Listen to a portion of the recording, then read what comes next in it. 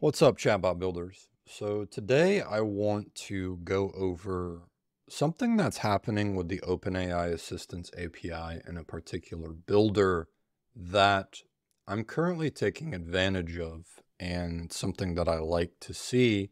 I hope this conversation makes you maybe a little bit more aware of what's going on in the back end, um, as well as maybe open up a discussion about what could happen in the future, right? Now, the builder that I have open up right now is Chatbot Builder, and this is the integrations tab where you have all of your OpenAI stuff. And for those of you that have used the platform, you know, you can edit your prompt in here, set AutoGPT, and you have assistants in here. And the text says, hey, assistants allow AI to respond based on your business data. You can provide more data opening up or by uploading files. Now, there's more than meets the eye here with this name assistance. And in fact, this particular assistance and function calling uh, functionality here is directly tied into the backend of the OpenAI Assistants API. I'm going to show you how I know this. But anyways, let's click manage. I threw up a very quick demo here of a car dealership, okay? And I created two assistants. One of them is kind of the general brain that I'm going to tap into. And then another one that we can train on some dealership locations and we can call in into this build. But if we look at the Beach Ford general brain that I've built here, and Beach Ford is a specific dealership here in Virginia Beach, we have a very straightforward prompt that we don't really need to go into here. But I do have two function calls here, which I have get car image and find dealership. And basically, I'm adding this function. I want whenever the user talks about a different model of car, I want to show them a picture of it. And let's kind of see how this will work here. Welcome to Beach Ford. How can I help you today? Yeah, I'm looking at test driving a vehicle. Now it's probably going to ask, hey, what model are you looking at? Give me some more information here. That's great. Do you have a specific vehicle model in mind? Eh, I'm kind of digging the Bronco right now. So what should happen is I should see a picture of a Bronco. If this is working correctly. There we go. So we have this nice picture, which I just pulled from the Ford website. The Bronco looks ruggedly stylish with its bold design and impressive off-road capabilities, making it a fantastic choice for adventure seekers and those who appreciate a classic, versatile SUV. So I've also attached a little bit of a write-up of a description. And then I have a button here, test drive this Bronco, which, okay, great. We have a call to action because anybody that is interacting with the chatbot from a car dealership's perspective, get us in, get, get this user into the dealership, okay? I'm looking to, looking for leads here. Okay, so that function call worked. Now the dealership one. All right, what is the closest dealership to me? Now it should ask me, you know, well, where the heck are you located? Could you please provide me with your current location? I'm in Virginia Beach. I'm anticipating that it's going to say, okay, here are some locations in Virginia Beach.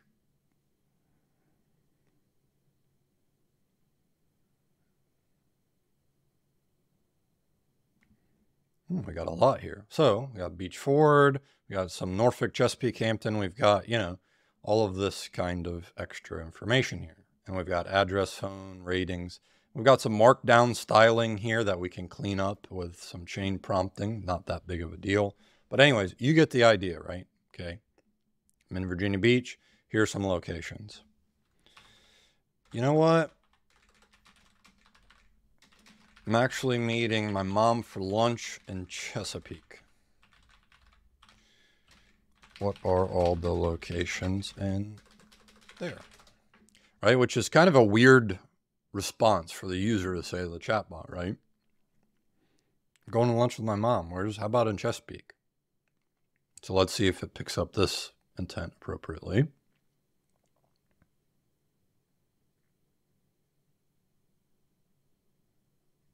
Come on, buddy, you can do it. Hope I didn't break the damn thing. There we go.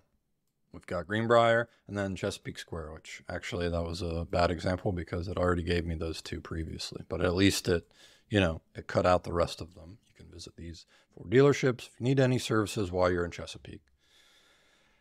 I actually am thinking about the Mustang. So I'm saying, okay, I know I told you I like the Bronco, but what happens if I change my mind? Now I should see a picture of a Mustang. And I see that my head is cutting off the response here, but we should also see a picture come through, an image of the Mustang with a similar write up here. Okay, test drive this Mustang, right? So this is uh, just kind of a small snapshot here of some of the dynamic back and forths that I can have if I set up a chatbot this way. Now, this is not a fully functioning demo, and I just made this for this YouTube video. So that's from a functionality perspective, it's really the only thing that this thing can do at the moment. But I wanted to show you how you can use these assistants and functions inside of a chatbot to create unique potentially useful and powerful sophistication inside of your chatbot. Okay, so how do we do this? Let's go to OpenAI here. So I've changed, instead of your normal like prompt here, I just have the assistant Beach Ford General drive the entire conversation, right? It is the one that is controlling the routing. So if we go back into the assistants, Beach Ford General, I've got a prompt, and I'm saying inside of the prompt that it has these two functions, get car image, find dealership. Okay, so what are these functions? If we go back to integrations,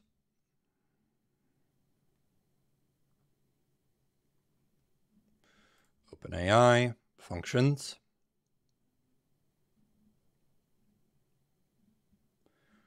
get car image collects the desired model the user is looking for and calls a function that shows the user an image of the vehicle. And I collect the model. And I trigger a new flow, which is get car image. So if we go to flows,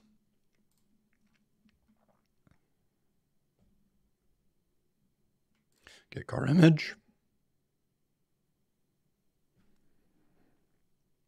Here we go. Okay. I have a call here to OpenAI which is generate text, which is say, hey, they've just make a match. And that this is me kind of doing some pre-prompting to help increase the chance that it hits Google Sheets correctly with how I have this Google Sheet, which I have a Google Sheet that's got images on them. Okay, so it's just pulling these pictures from Google Sheets that I created. Here's the image coming through, and then here's where the write-up comes through, and then a button, which was test drive this thing. Okay, so that's the entire flow. Now, how does this flow get called?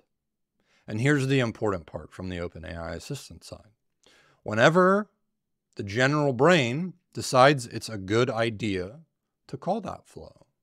Okay, and that's why it is a little bit more dynamic and less linear, fill out this form, go in this direct, you know, back and forth.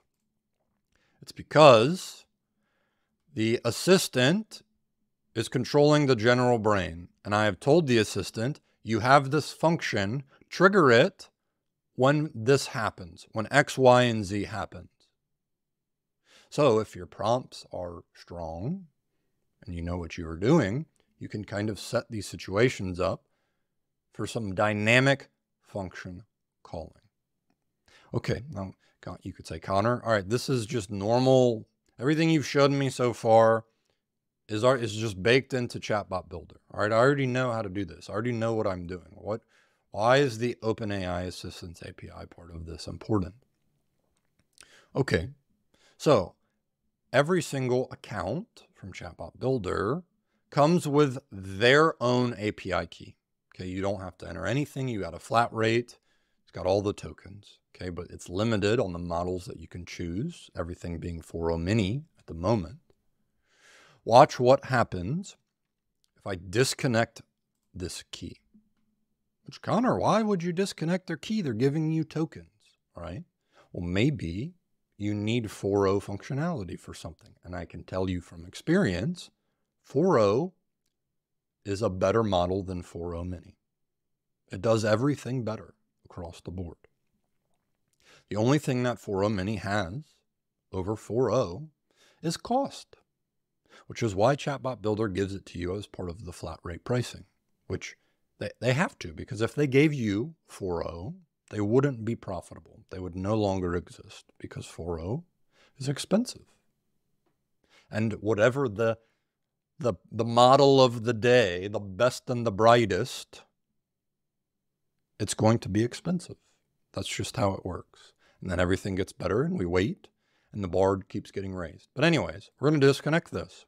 And then all my stuff went away. Ah! Okay. Connect your OpenAI key. All right. So I'm going to go off screen here. I'm going to create a new key. Builder YouTube video. Now this is going to be my own OpenAI account. Copy. I'll delete that at the end, no worries. Okay, so now I've got all my stuff back. If we go to manage for assistance, oh look, we've got the same stuff. We should be good, right? Let's start a new conversation and watch what happens. Let's clear and delete this so that I can refresh here. Welcome to Beach Ford. We're so glad you're here. How can I assist you today? Hi, I'd like to test drive a vehicle.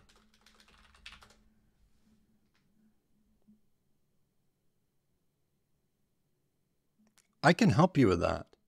Could you please provide me with the following details? The make and the model of the vehicle you're interested, your location, dealership you're considering preferred. Huh, that's kind of a different response. What's going on there? I'm interested in a Bronco. Great choice. Ford Bronco is a popular vehicle. Could you please provide me a look at what, like, what happened? Where, where's my functionality? Where's my image? Why is this thing now acting differently? And all I've done is swapped out my, my own OpenAI key, right? So if we go into the error logs of Chatbot Builder, which is, in case you were wondering, if we go into the flows, we go into error log. Oh, we've got some some stuff going on here. We've got no thread found. We've got can't add message to thread. And those of you that know the OpenAI Assistants API and how this is set up, okay, this is very common nomenclature for the OpenAI Assistants API, right? You have to add a thread, add message to thread. You have to run the thread You have to call a tool, you have to fetch the response, okay? You have to set up all of these API interactions with the OpenAI Assistants API. And this should let you know, all because I swapped out my key, these assistants are no longer being utilized, They're no longer being used, right? And that is because they're sitting on chatbot builders OpenAI account on their backend, right? Now watch what happens if we create a new one. Connors OpenAI key Beach Ford. So I'm going to create a new one. Now let's, I'm going to save this real quick and copy the instructions here. Beach Ford General, we'll go back. Copy.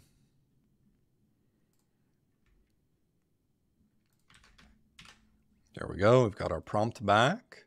Now I can change this model from 4o mini to 4o and I can add my two functions back that I want. Okay, click save. Okay, now you guys just watched me well, we'll do the same thing for dealership locations real quick. Connor's OpenAI key, dealership locations. and I actually have, I think, a file dealerships. Let's see if that works. I may have to upload that again. Yep, I'm going to have to do that. So eh, there we go. We got an error for that. Let's go and look at what that error log says. Files were not found, OpenAI. Okay, and that's because they vectorized it as part of the assistant that was an old file for a different assistant. So I have to re-upload that file. Let me get the prompt again.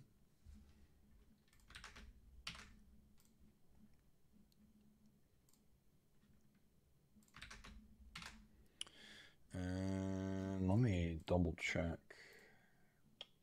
Got some. That's all right. I will do this off screen. There we go.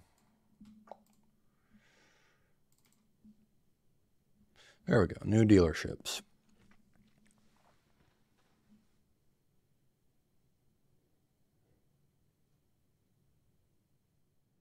So, because I swapped API keys, the old assistants that I made are no longer usable. I cannot tap into them anymore. I don't have access to them.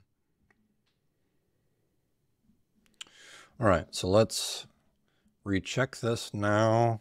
I want to test drive a vehicle.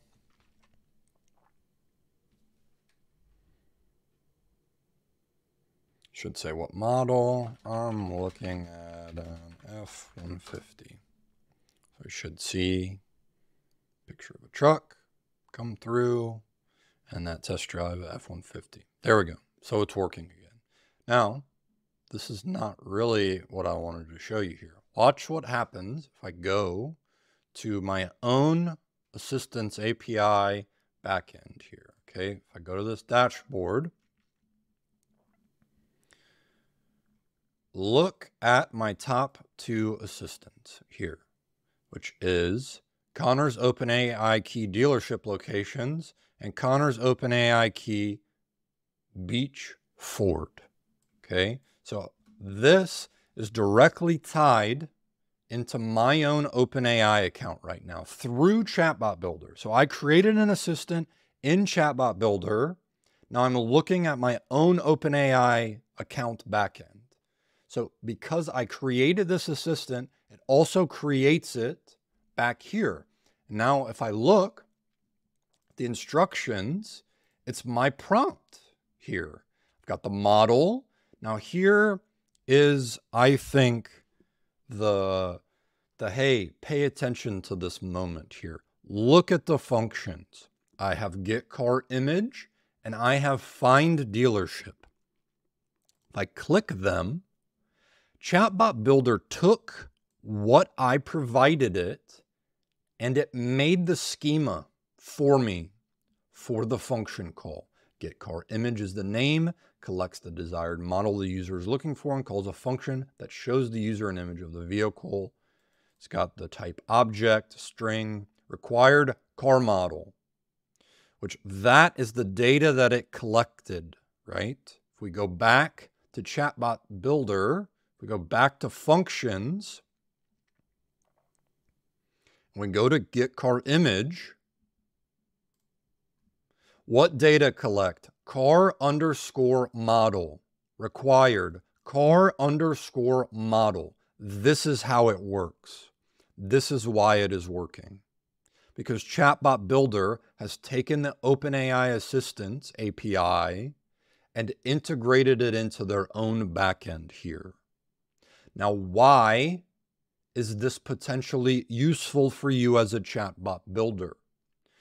Because if for you were to make this yourself, you were to tap into the OpenAI Assistants API on your own through another builder, this is me in BotPress.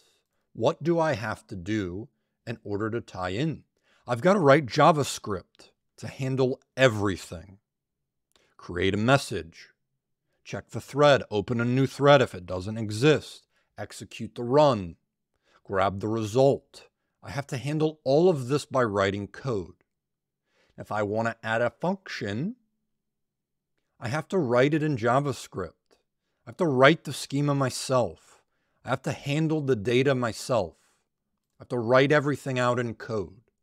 And inside of Chatbot Builder, I don't need to do that because Chatbot Builder is converting what you are seeing on this page directly into the OpenAI backend to do it for you. which means that instead of writing JavaScript, what am I doing? I'm in here. I'm in a drag and drop flow builder.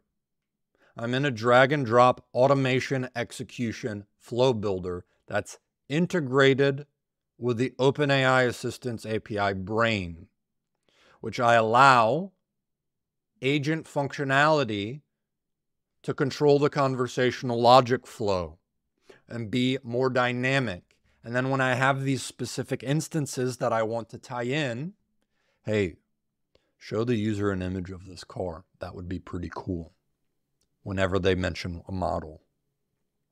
Or anything else you can think of that would be beneficial to the businesses you are working with. This is what I like to see.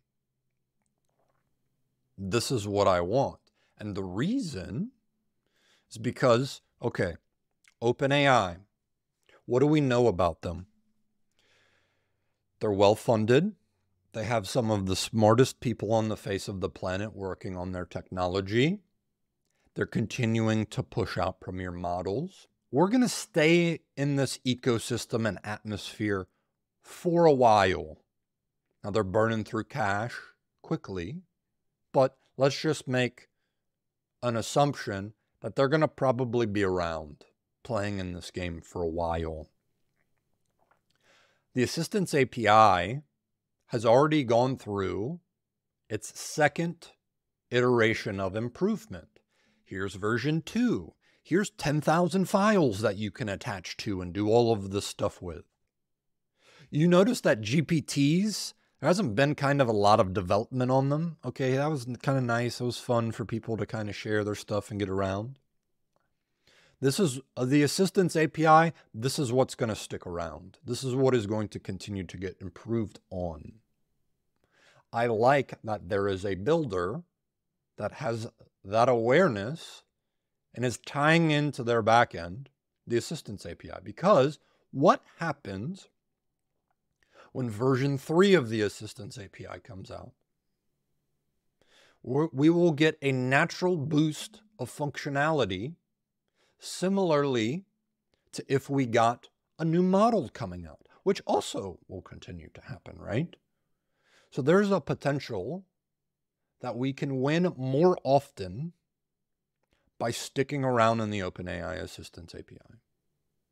Now, I think other building platforms are potentially shying away from showing examples and providing this integration and functionality because they are worried that if OpenAI Assistants API is the driver of the brain, then maybe you don't need that platform for logic flow. Maybe they just become a term that is commonly tossed out here, a GPT wrapper. I disagree with that thought right? Because I think all of these builders will be useful, even tying into these and having this functionality and tying into common integrations that chatbot builders want to see. They can sit as a conversational router on top of the OpenAI Assistants API, which is kind of what we're seeing a little bit inside of Chatbot Builder. So I hope that more platforms start to do more stuff in this particular realm because that's where I want to hang out. I want the dynamic aspects of the OpenAI Assistants API to drive the brain. Now, what are some of the drawbacks of this? The OpenAI Assistants API drives the brain. Do you know exactly that this is going to work how you intend it to work every single time? And the answer to that is probably no. So you do lose a little bit of control. If you want full control, you want 100%, build out your linear conversational logic flows. But if you want a little bit of dynamic functionality, a little bit of, hey, the user didn't didn't respond. They didn't provide their name when I wanted it name. They didn't provide an email address when I asked them for an email address. How do you handle those responses, Connor? Well, th there's only two paths that I see right now, right? Which is number one, you take your linear logic conversational flows and you add in all of these catch alls everywhere and have this giant spider web of if this happens, then that happens, and just try to catch as much as you can. Or you tap into the OpenAI Assistants API with function calls for various things and, and short flow, execution flows that you can tie, that you can come back into the general brain as quick as possible. I, I think it's a better deal. I think it's a better route for right now. But anyways, I'm curious and interested to hear your guys' thoughts on if you're using the OpenAI Assistants API inside of your chatbots and how is it going? Are you getting the functionality that you want? Do you have any good examples of dynamic function calls that do cool and powerful things inside of chatbots? Because I th think this is what we're going to start seeing more and more often. Anyways, hope you found this useful. Talk to you guys soon.